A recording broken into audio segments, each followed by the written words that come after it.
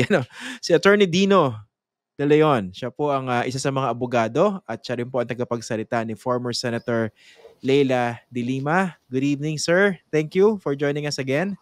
Magandang gabi, Christian, tsaka sa lahat ng uh, sumusubaybay sa programa mo. Okay, kaya po natin kinakausap uli si ano si uh, Attorney Dino uh, De Leon. Ito po yan ang dahilan, no? Kasi yung ombudsman, naglabas po siya ng resolusyon at sinasabi, ibinabasura po yung bribery case against former Senator Leila De Lima dahil wala raw pong probable cause. Okay? Pakipaliwanag nga po po sa amin. Uh, ano po ba yung sinabi rito ng Office of the Ombudsman?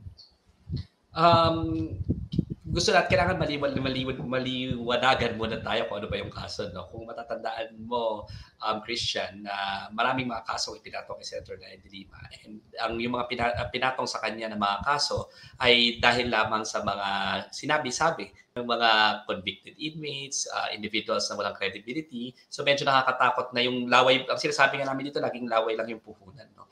At dito sa bribery case na ito, ito raw yung supposedly ikinaso uh, apart from the drug uh, case no na isinampa kay Senator Ryan de Lima in connection with yung apat na beses raw nagbigay ng dalawang milyon itong hmm. si Kerwin Espinosa at si Adorco kay Ronnie Dayan at kay Laila de Lima. Kung matatandaan mo, yung isang criminal case uh, na ipinata, pinatong kay Senator Laila de Lima ay sinasabi drug drug dealing daw yon Imagine, drug dealing daw yon kasi nanggaling daw supposedly yung mga uh, proceeds na yon sa drugs. Pero nag-bribery case pa rin naman sila. So ano ba talaga? Drug case ba ito or bribery case? No? Uh. Pero sinampa pa rin na yung bribery case. So patong-patong na mga kaso ang sinampa kay Senator Ryan de Lima. At sinabi ng mismo ng ombudsman um, na ang ilang mga bagay. Unang-una, sinabi na napaka-inconsistent naman ng mga ng, ng testimonya ni Kervin Espinosa kahit na gusto siyang paniwalaan ng ombudsman. Bakit nga ba? Kasi ang sinasabi niya, eh nagbigay siya ng apat na beses. Uh, pero sa lahat ng apat na beses na yon, sinabi niya mismo na wala si Senator Ryan de Lima. So bakit ka magbibigay doon sa supposedly sa bodyguard, 'di ba? Uh, nang wala hindi mo hindi ka sure kung napapadala mismo yun sa principal yun yung una. Mm-hmm. Pangalawa, sinabi rin na um, yung yung testimonya ni Espinosa at saka ni Adorco eh, when you compare it with each other, eh hindi rin nagtutugma. Ang sinasabi ni Espinosa, in-instruct daw siya, siya na magpunta sa Baguio ni um, Dayan nung second na encounter nila sa Pasay. Pero sinabi naman ni Adorco, eh um, hindi raw ganoon yung instruction at nagpunta lang daw sila doon. No? Uh, pa, kasi alam nila pupunta sila to Ray de Lima. So inconsistent with each other. Pangatlo, eh um, sinabi rin mismo na um, siguro naman hindi ka magbibigay ulit kung hindi ka sure kung napunta talaga dun sa principal yung binigay mo. Di ba? Mm. At sila, nagbigay sila nagbigay kahit hindi sila sure. Na sinabi rin nila na hindi sure. Di ba? Um, na nagbigay sila. So, most probably, sinabi rin mismo ng ombudsman na chance encounter lang yung picture nila. Yung ombudsman na nagsabi na ito ha, um, uh-huh. na siguro chance encounter na nakita nila, na nakita nila si Seto Ryan, di ba? Nagpa-picture sila. Sinabi yan mismo sa resolution. But the most important thing, I think, Christian, is kung maalala natin, eh, lahat ito sinabi ng mismo ni Kerwin Espinosa, hindi totoo. At there mm. was a recantation um, na recently lang, within this year, na sinabi mismo ni Kerwin Espinosa, uh, ni Espinosa, at ang sinabi niya ay, and I quote, any statement he made against the senator is false and was the result of pressure, coercion, intimidation, and serious threats to his life and family members from the police who instructed him to implicate the senator into the illegal drug trade. At hmm. malinaw dito na tinakot siya, piniwersa siya, pinilit siyang mag-execute na nirecant niya na at ang dahilan dito ay hindi lamang siyang tinatakot kundi kasama rin yung pamilya niya. Uh, matatandaan, di ba, na namatay ang ang mga kapamilya ni Kerwin Espinosa a few days, a few weeks, two weeks I think, before pinuwersa siya mag-testify sa House of hmm. Representatives. At so yung basis nito, nirecant na ni Kerwin Espinosa. Kaya so, tama-tama lang rin. Okay, pero nagkaroon ba technically ng bearing yung recantation niya dito sa decision ng ombudsman? hindi naman nila sinay yung recantation. No? Pero alam mo, sa akin, dapat nga, public knowledge naman na nag-recant siya. No? So it's the same affidavit and the same allegations that he made which will serve mm. as the basis for the uh, um, the bribery case. And even if they did not cite it, um, in fact, it is very clear that no less than Kerwin Espinosa said all of those things are not true anyway. Actually, sa perspective ng layman na katulad ko, no, parang napaganda pa ka na naglabas ng resolution ng ombudsman hindi lang dahil nag-recant si Kervin Espinosa, kundi dahil nakita, inilista lahat ng butas doon sa kanyang testimonya, no? Sa kanyang aligasyon against Co- Co- former Senator Leila. Tama? Tama ba? Ang, ang tinake lang nila mismo ay yung sinabi. Ano ba yung pinagsasabi mo dyan kung totoo kang witness? Eh kahit yung pinagsasabi mo doesn't add up. They all don't add up. So which is why there's no probable cause. So, ibig sabihin lang naman probable cause is there is a crime committed and the other person is most probably guilty. So sinasabi lang, parang walang krimen at hindi rin nakikita na guilty yung dalawang ini-implicate mo. No? Probable cause lang hinahanap, mababa yung bar na yon eh hindi pa nakitaan ng probable cause. At sinasabi, lahat daw ito eh parang hindi nag-add up. Kung ganyan sana no, yung yung resolution ng prosecution doon sa drug cases. 'Di ba? Nakikita mo ba ito um, uh, Christian no? The same facts. Mm. In the drug case, pinaniwalaan ng Department of Justice under kay Vitaliano Aguirre at saka under kay Duterte nung nasa kapangyarihan pa si Duterte. Same facts, nung hindi na makapangyarihan si Duterte, uh, uh, final sa ombudsman for another case, at sinabi, hindi ka panipaniwala yung mga pinagsasasabi. Di ba? Same, same set of facts, ha? Same, ha? Same, same, set of facts, di ba? Kasi nga, itong uh, kay Kerwin Espinosa, ginamit yan eh. Ginamit yan sa criminal case uh, na pending right now at uh, pinaniwalaan yun ng Department of Justice. Attorney, wait lang. Mm-hmm. I-clar- sorry, i-clarify ko lang para mas maintindihan ng mga nanonood sa atin. So, same set of facts, ginamit sa kaso sa ombudsman, binasura dahil napaka-inconsistent. Pero ano nangyari doon sa same set of facts na idinala sa DOJ? Yung dinala sa DOJ under nung administration nagsisimula pa lang ay na-file. Na-file at sinabi, drug case yon. To begin with, diba, nag-prosper. At question na namin to begin with na hindi dapat sa RTC yon right from the very start. Kasi nga kung um, kung sinasabi na ginamit ni Senator Ryder Lima ang kanyang opisina eh dapat sa ombudsman ito. Pero nangyari dahil daw drug case eh na-file sa um, sa RTC no? So dahil pwede yan sa RTC hindi na tayo magko-comment muna diyan pero um, we can comment uh, with respect to um, doon sa findings ng DOJ nung sila pang nagpa-file ng probable cause. At sinabi ng ombudsman ngayon, it doesn't add up. Uh, pero yung DOJ pa yung nag, uh, nag-assess ng probable cause sa pinag-usapan, hindi conviction. The conviction is with the trial court and we respect the trial court to make the um, the proper judgment in due course. No? Pero when it comes to the weighing of the probable cause by the Department of Justice, eh sila naging sufficient.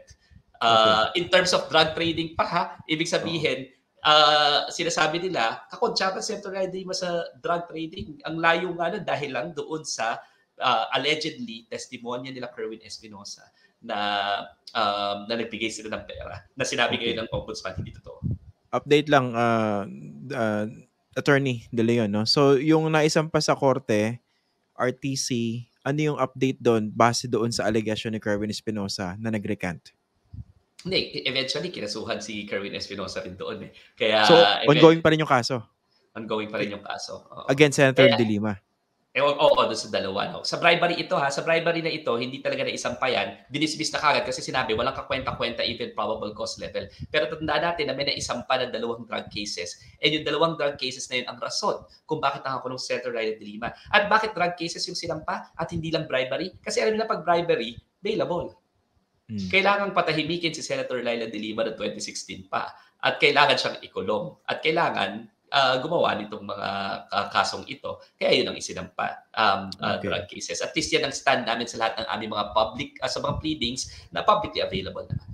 Ito, sir, kasi mara- may, ilan ba yung nag-recant na nga pala?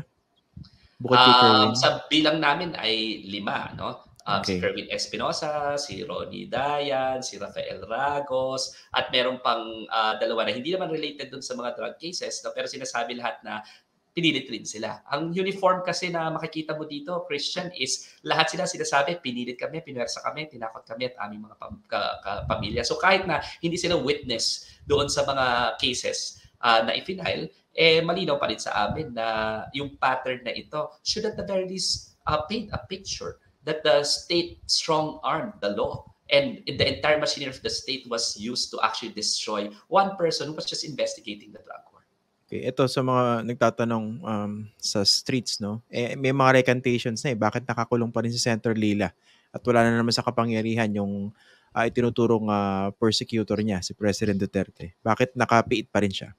Well, naniniwala kami na hindi na dapat sila kapiit. No? Unfortunately, uh, the Department of Justice, despite us urging them to review everything, eh, nagkaroon ng cop-out at sinabi bigla, eh, let's leave it up to the court. Despite the fact that the Department of Justice plays a fundamental part in our in the dispensation of justice. That means na sa prosecution, di ba? Sa prosecution pala pwede na sabihin nila, after our review, wala kwenta. Di ba? And we think that is politically motivated. But they didn't want to do that. But they also did not categorically state, di ba, na malakas ang kaso. Sinasabi lang nila, nasa korte na. Di ba? And, and that misses the point. The point is the Department of Justice should have uh, played its role in trying to review again the cases, considering the numerous recantations that are present. Bakit nakakulong pa rin si Senator Ray de Lima? Because our justice system takes time, unfortunately no? At kailangan pa i-presenta itong mga recant na ito no sa korte. In due course, naniniwala kami na at the very least um, it would show the consistent pattern at si Senator Ryan de Lima malinaw naman sa amin right from the very start eh, no? Na politically motivated ito. These are all fabrications and um, um invented uh, just to silence Senator de Lima. And in due course she will definitely be vindicated. That's has always been um, the perspective of Senator de Lima because she's innocent. Ilan pa po yung ano, yung live cases against her sa korte ngayon? Dalawa na lang.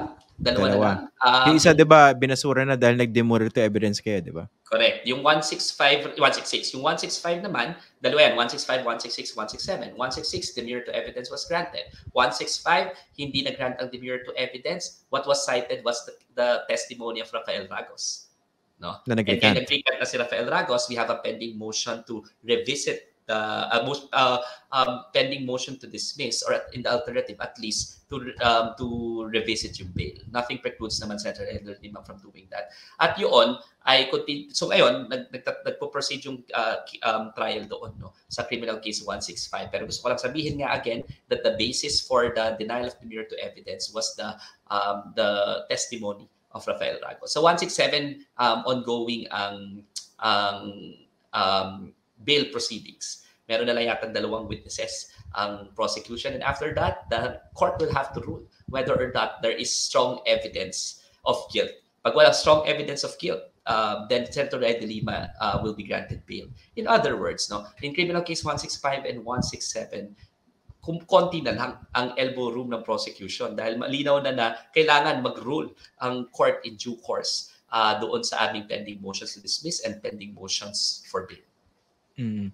Teka dito kasi alam natin ang kalaban ni President ni, ni former Senator De Lima ay si former President uh, Rodrigo Duterte. Eh, hindi na naman siya yung presidente ngayon eh. Kumaga nakaramdam ba kayo ng kahit paano signs? May nakita ba kayo?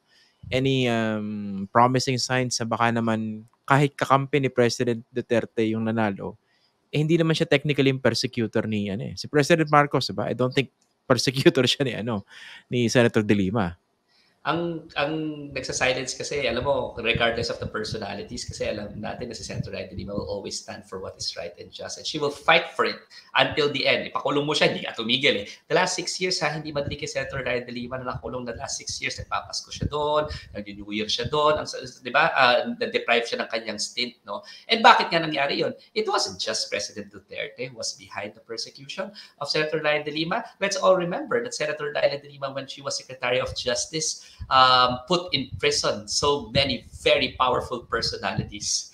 No, um, and these personalities are still in power at the very least allies of those people in power. We don't not we have to name them specifically. Pero of course, we are hopeful. We are hopeful always that considering that there's a new administration, the new administration will do the right thing. Uh, we will not be here fighting every st- uh, step by step, even Senator Laya de Lima, if this were a hopeless cause. No? Um, to Senator Laya de Lima, napaka-importante sa kanyang lumaban. At pag lumalaban siya, eh, um, nag, uh, ano siya, nananalig siya na may patutungan itong laban na ito. And considering there's a new administration, nananalig kami. Nagagawin nila um, in due course yung tama. Hindi ba siya pinanghinaya, pinanghinaan ng loob na ang nanalo kaalyado ng kanyang kalaban sa politika si President Duterte. Every single time naman na pumapasok ako sa kulungan at nakita ko lang siya two weeks ago, ah, last week lang yata, no? Um, pag kami pinanghihinaan ng loob, hindi si Senator Laila de Lime.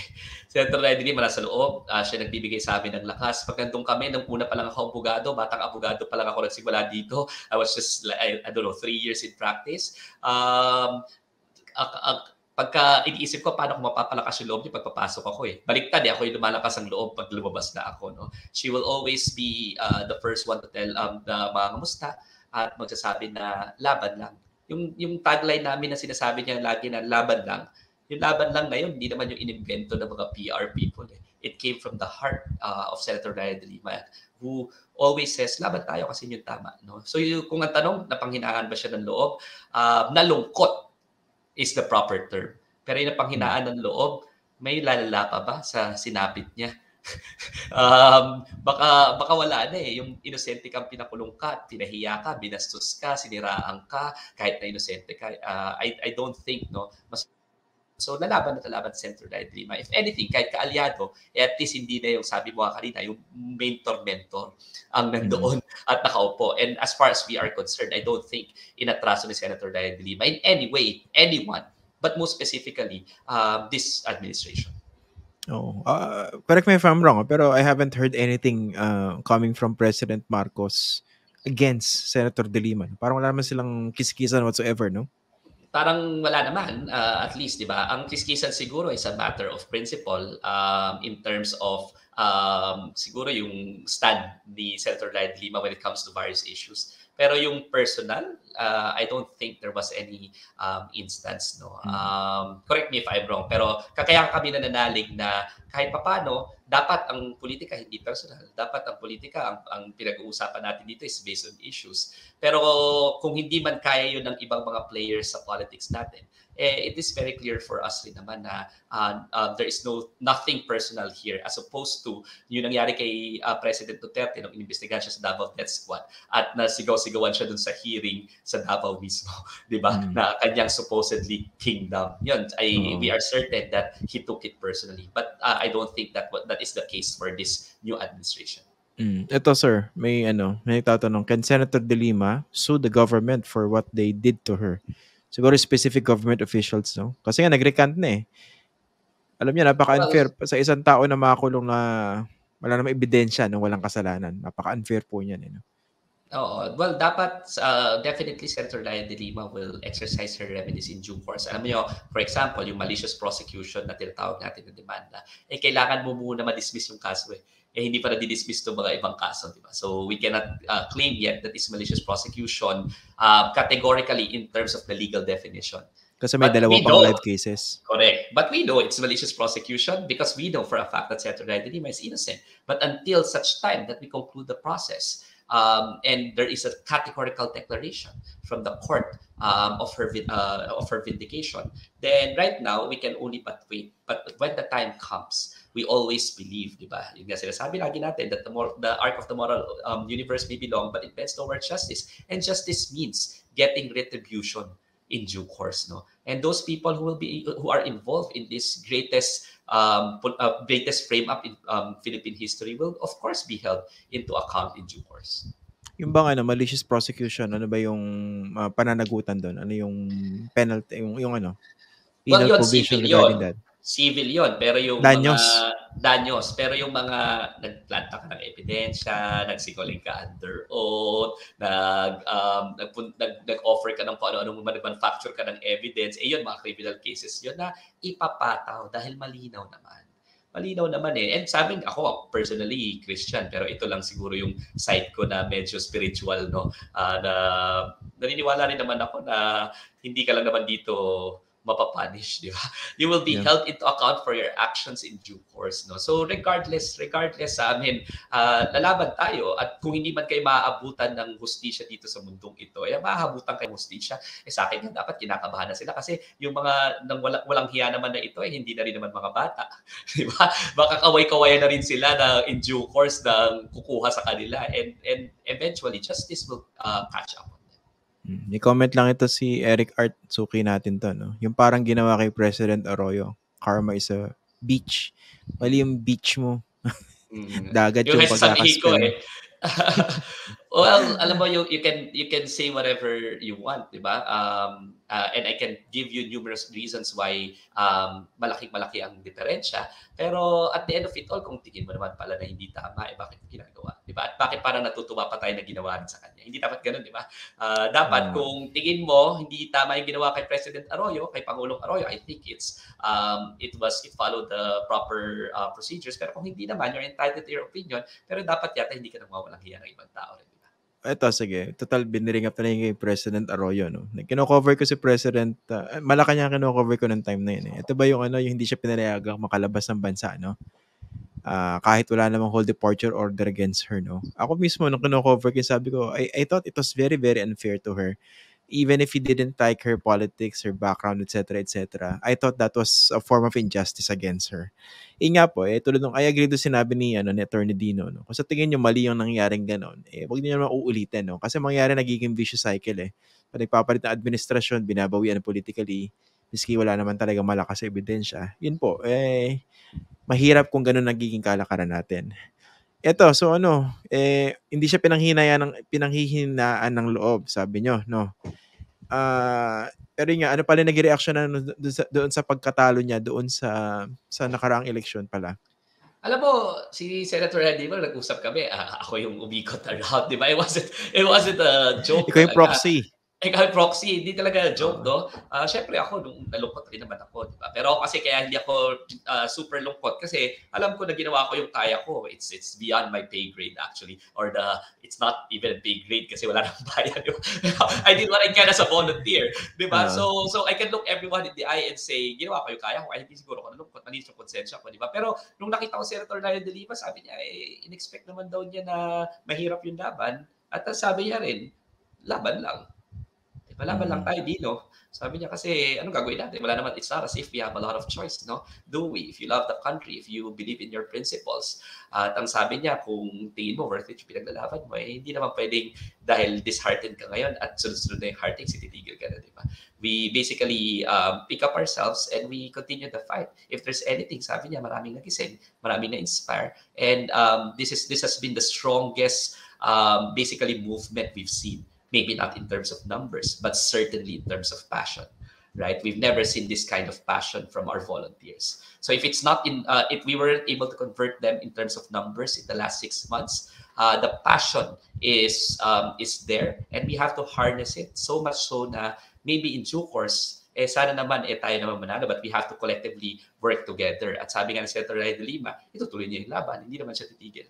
So doon naman ako talaga, alam mo kaya naman ako nandito, Christian eh. Um, it's not because we claim that um, the the senator, my client, is a saint, no? But I've always admired how she stood uh, for um, parang stood firm in terms of her principles and how she always fights. Despite the fact that in a lot of instances, eh, hindi na politically convenient sa kanya, imperiled yung personal life niya, eh, she always fights, no? And and that's why I volunteered for her, no? And and so far, I haven't seen that waver. Okay, sige. Attorney Dino De Leon, maraming maraming salamat sa iyo for joining us tonight and uh, God bless sa laban nyo. It's not good luck, it's supposed to be God bless. Okay, maraming Thank, salamat thank you very Attorney. much. Thank you very much, Christian. And ho- um, and maraming salamat din siguro rin sa uh, for you and for a lot of people who um, who don't who have not forgotten Senator Laila de Lima kasi pwede siya makalimutan, hindi na siya senator. Pero a lot of them are still uh, watching closely the um, the case and the situation of Senator Laila de Lima. So After that, uh, after na interview natin, I'll, I'll say a short piece coming from me regarding that. Kasi nga napakatinding injustice yan eh. Pero yun, maraming salamat Attorney Dino for joining us. thank you very much. Okay. So, nadinig natin si Attorney Dino De Leon. Okay? Nga po, bakit ba natin uh, nag-uusapan tong issue na to? No? Gusto ko lang po ipaliwanag sa inyo kahit papano. No? Again, tanggalin niyo yung uh, siguro iba sa inyo, not a fan of Senator De Lima. Ako mismo, I'm not a fan of Senator De Lima. Uh, I just covered her before from afar not directly kasi siya yung DOJ secretary noon. Nako-cover ko based on issues. Personally, hindi ako fan ni, ano, ni Senator De Lima. And then, pero nung tinignan ko yung pattern, yung nangyari sa kanya, unang-una nung sinabi, ah, political uh, prosecution, uh, political persecution yung ginawa sa kanya ni President Duterte. Una, hindi ko agad binili eh. Baka naman meron talagang ano, mabigat na kaso o ebidensya against her. Pero nung pinag-aaralan ko yung ano, yung naging takbo ng kaso niya, sinusundan ko yung issue, sabi ko, medyo matindi yata yung ginawa dito, no? Parang tulad na nakita natin ngayon, may mga nag-recant, tapos ngayon ibinasura ng ombudsman yung bribery case against her, uh, makikita nyo na mahina ebidensya. But of course, ultimately, korte ang mag-ano dyan eh, ang maghahatol, no? Pero kaya naintindihan natin yung sinasabi ng iba na palayain na si former Senator Leila de Lima dahil nga dito sa matinding injustice na nangyari sa kanya. Tapos nga po, kung titingnan nyo rin, tanggalin nyo yung biases nyo, political biases nyo. No? Naalala niyo ba kung paano siya binaboy doon sa isang uh, congressional hearing sa House of Representatives? No? Pinagkatuwaan yung kanyang pagiging babae, yung kanyang mga uh, personal activities, no? Aminado naman siya, di ba? Meron pa nga siyang binanggit na frailties of a woman. Okay?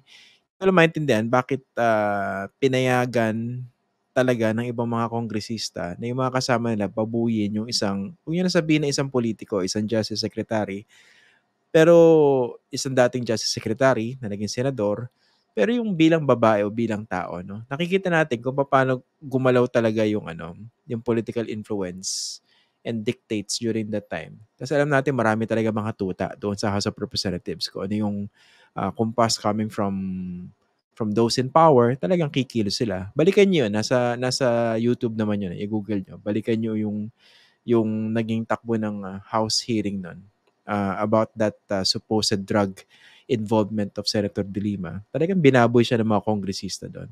Lumabas yung kababuyan ng maraming mga kongresista doon. And they were not actually uh, held accountable for that, di ba? If at all, nagtawanan pa nga yung iba, di ba? Tapos siguro, iba sa inyo na nakapanood, nagtawanan pa, no? So yan, nawawala yung basic decency dito sa ating diskurso eh. Tapos sigurado ako ngayon, yung mga nanonood dito sasabihin, eh bakit ba pinag-uusapan pa yan? Talaga namang guilty yan eh. Huwag niyo po i-simplify yung discussion. Pag-aralan niyo po mabuting issue para hindi tayo banat ng banat. Madali kasi magsabing guilty, no? Tingnan, tingnan, tingnan mo lang yung pagmumukha ni Senator De Lima. Ah, mukhang guilty, no? uh, ano yan, talagang walang magagawa yan, dilawan yan eh. Pero kung pag, pag-aralan nyo mabuting issue, baka mas maliwanagan kayo.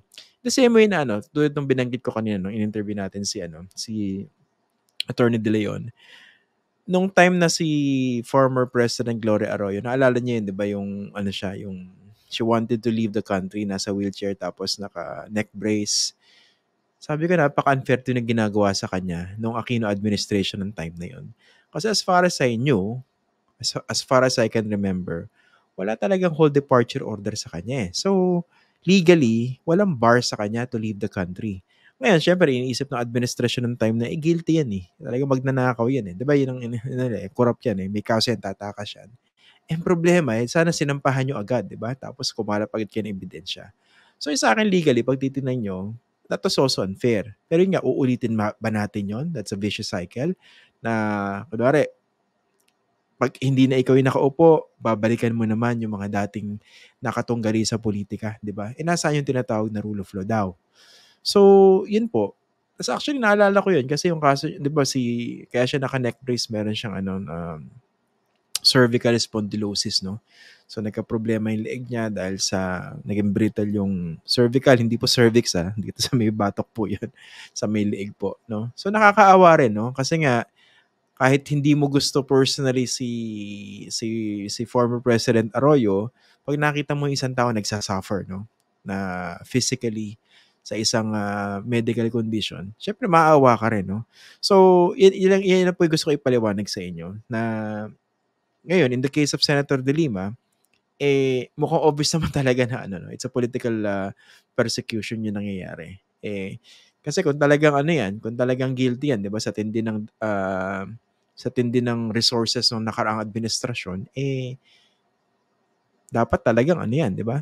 Uh, napakatindi, napakalakas ng kaso. Eh, may mga nag-atrasan, may mga nag-recant na. No? Although binabanggit nga sa atin, meron pang two live, uh, live cases. Ayun.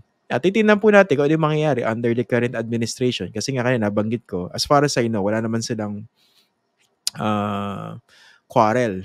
Uh, referring to President uh, Marcos and President uh, and former Senator Leila de Lima, uh, that we have to see. Tingnan natin kung ano mangyayari sa kanyang kaso in the coming years, especially under this new administration. And come to think of it, di ba, sa dami ng binabatong issue kay President Marcos regarding human rights uh, issues nung panahon nung tatay niya, no? Nung panahon ng dating diktador, I don't think meron namang binabato sa kanya ngayon na human rights issues, no? Kasi kakasimula pa lang yan, no? And I think it would even be better, no? Uh, to also silence uh, many of his critics if he would do the right thing.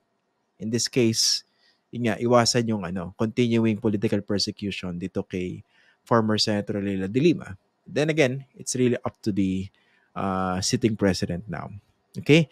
Maraming maraming salamat po for joining us tonight on Facts First. As always, sana po marami kayo natutunan, marami kayo napulot. Uh, kanina may nag-remind sa akin, no? nasa ano na tayo, no? nasa, nasa 90,000 subscribers na po tayo. Maraming maraming salamat. No? So, uh, doon sa patuloy na pagsuporta nyo po. Ayan. Nga po, sana as long as you find this useful, uh, we're very, very happy and uh, we'll stick it out kasi we started this as an experiment na gawin natin three times a week. No? And so far, maganda po yung response. Uh, inga po. Maraming maraming salamat po sa inyo. And see you again on, kailan ba? Today is Wednesday now. See you again on Friday for another episode of uh, Facts First. Magandang gabi po.